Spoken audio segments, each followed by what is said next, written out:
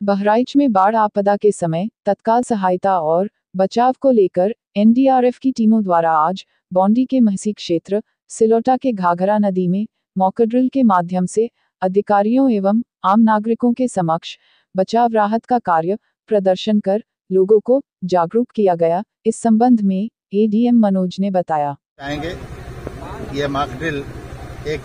प्रदर्शन है एक्चुअल में जब बाढ़ आएगी और जब इनकी ज़रूरत पड़ेगी तो संयोग से हमारे यहाँ एनडीआरएफ की टीम भी कैंप करती है, वो लोग बचाव करते हैं। लेकिन जब तक कोई पीएससी